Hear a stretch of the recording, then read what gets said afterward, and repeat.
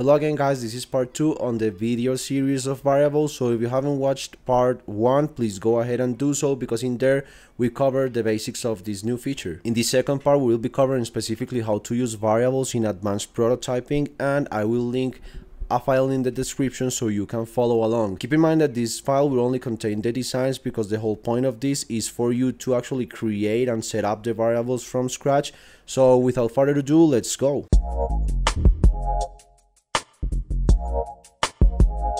Okay guys, so let's jump right into it. So first of all, why is it important to prototype with variables? This will basically allow you to show your clients or team how your designs are intended to work in the real world with higher fidelity but less busy work. So you have to create less screens, but you can display much more uh, functionalities with this. And how Figma did this was introducing two new prototyping actions. The first one being set variable, which will allow you to manually give a specific values to a variable you already set on your local variables. Also, you can create operations like adding, subtracting, dividing, or multiplying. This is obviously automatic, so you just have to set the logic and then it will make the calculations for you. And finally, you can also create those same operations not only by referencing static values, but also referencing other variables. The second prototyping action Figma introduced with variables is conditionals, which basically unlocks if-else logic, which simply put is the prototype will check for some condition and then it will prompt it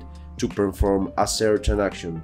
And obviously both the condition and the action are defined by you. Okay, so I, I, think the best way for you to understand this is just creating some examples and using the prototyping functionality. If you want to follow along, the file is linked in the description. So in this example, we will be creating a card in a movie rating app in which you can click uh, either the tomato button if you dislike it or the rose button if you like the movie. So the first thing we're gonna do is setting our normal prototyping component. So I'm gonna take this tomato button, move it to the side, and I'm gonna create a hover state for it. Let's give that a, a darker color, maybe a darker stroke. You're gonna select both of the buttons and click on the drop down menu of the components icon and you're gonna create multiple components and then combine those as variants basically what we're gonna do is create a property named state name the first one default being the inactive state. And the second one we're gonna name hover okay for now the only thing we're gonna set up is our regular uh, prototyping actions. We're gonna go to the prototypes tab and then link both of these buttons by using the while hovering prompt. We can give this a dissolve animation just to make it a bit smoother. Let's make this 150 milliseconds. What i'm gonna do now is drag a copy of this component and then use this one. I'm gonna copy this then select the tomato button and then Control or Command Shift R to replace it in there. And you can see we're now using the, the component in here. Okay, once you're set, you can actually preview your prototype. Um, let me just drag the, a copy of this frame outside. And selecting that frame you're gonna tap shift and spacebar and it will actually let you preview your prototype. So you can see I got my hover effect. I'm gonna make that a little more noticeable let's go back to our frame. Uh, yeah yeah I like this better. Okay guys and now that you have your basic prototyping uh, set up you're gonna go to local variables. Uh, let's create a new collection named interactions. And we're gonna create a number variable named tomato counter. Uh, we can set this to any value for now maybe three. So our next step is to actually link the numbers in our tomato button component to the variable we set, which is named tomato counter. So you're gonna directly select both of the numbers in the two states of the button. Look for the variables icon in the text panel, click on apply variable, and then look for your tomato counter variable and link it. You're gonna see it automatically change the default value I said, which was 1, to the value that we gave the, the actual variable in the variables window and as this button is an instance of our component it obviously updated as well. Okay guys so until this point we've only used the basic prototyping actions which you will probably already know Um, but now we're gonna use the new prototyping capabilities, uh, starting with set variable. So our intention in here is to make that number increase by one every time it gets clicked. So if you think of it, this button goes to the hover state whenever my mouse is over it. So we're gonna have to apply that on click action to the hover state because anytime we click it it's obviously going to be in the hover state right? So i'm going to have that selected go to the prototypes tab and click on the plus icon in add new interaction. Okay so you're going to leave that on on click and then then click this drop down menu select set variable. Okay guys so the first thing is going to ask you is what variable are we setting to something else? So you're to click on the tomato counter because that's the variable that that number number three is linked to and then you gotta think what's the behavior you wanna get out of it. So basically what i want is having that tomato count increase by one every time somebody clicks it. So i'm gonna select again the tomato counter because that's our base number and then click on addition and type in one. So basically what i'm saying here is set my tomato counter variable to whatever that number is. So tomato counter variable plus one okay now let's go to my actual prototype and let's check if this works. So uh, the first thing it actually works uh, it enters the hover state while I'm uh, mousing over it. And then if I click it the number counter increases. So yeah it works. Okay guys let's jump into our next example. In this one I'm gonna show you how conditionals work. So what I want to do is have this card calculate the total price based on, based on the unitary cost of each print and the amount of prints the user adds to the card. Okay, so once again, the first step is to set up your basic prototype interaction. So I'm gonna quickly create some hover states for both of these. Let's turn all these into components and group both of these and then both of these. Go to your prototype tab and then link this while hovering.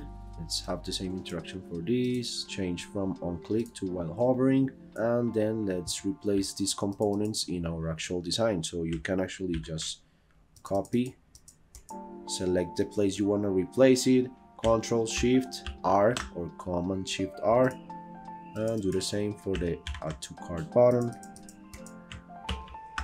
Okay guys our next step we're gonna go back to our design tab make sure we don't have anything selected and open our local variables menu go to our interactions collection and we're gonna start to create new variables. Okay so let's think what variables do we need to make this work. So you can either decide to left this 950 as a static value.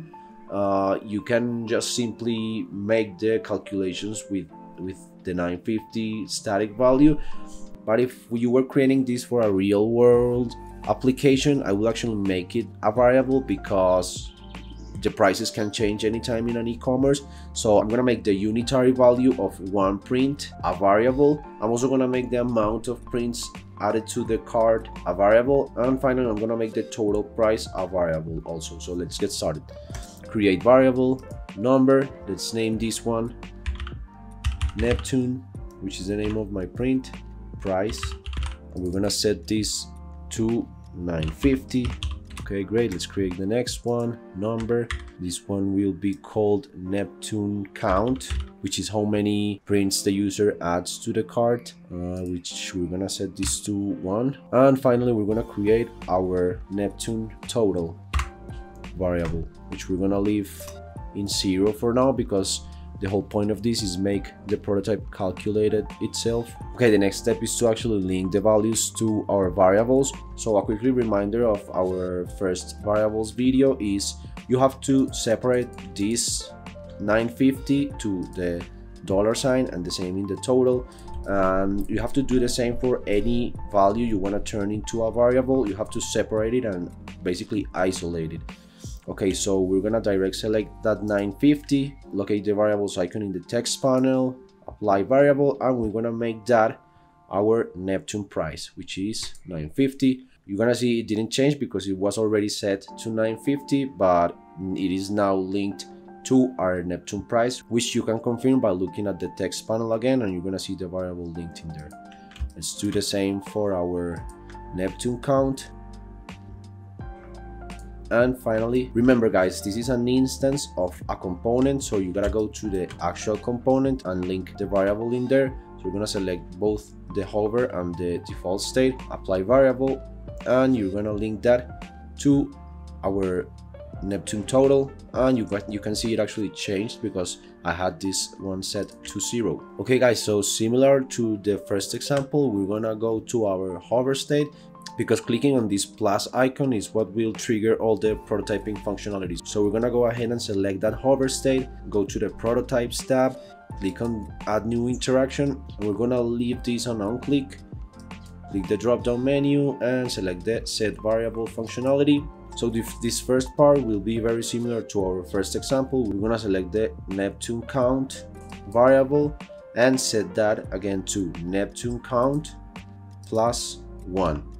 So that anytime you click in this button, it's gonna add one to our Neptune count. Okay, let's check if that works. Um, guys, the reason I'm moving the frame out of the other frame is because when I try to preview this prototype, it actually previews the whole frame which contains it. So to make it more visible, I just uh, take it out of there and isolate it.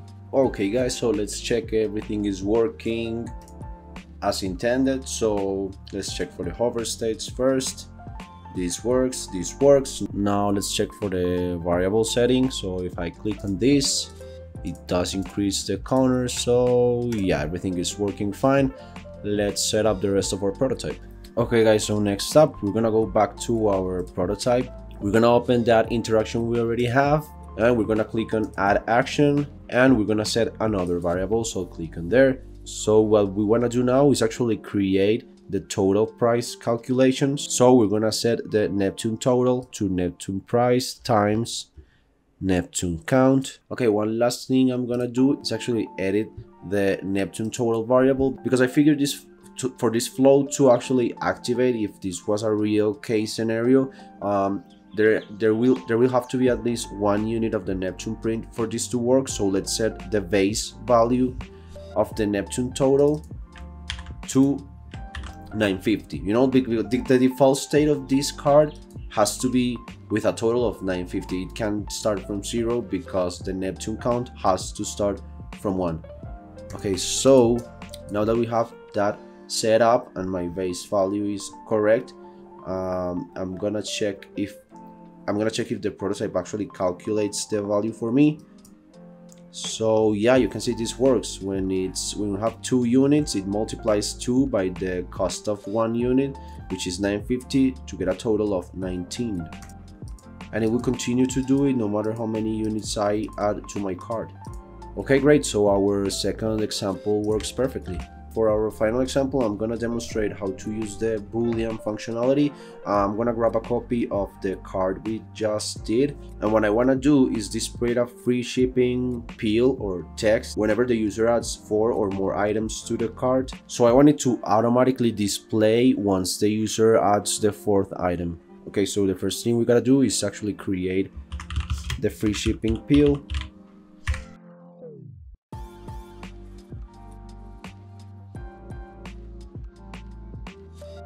And as a quick reminder, the boolean variables are those which you can set up either to true or false values. So I'm using that in this case because I want to assign the visibility of the free shipping element to true or false or basically to visible and, not visible. And I want to make that a variable. And we're gonna go once again to our local variables and create a new variable this time a boolean one.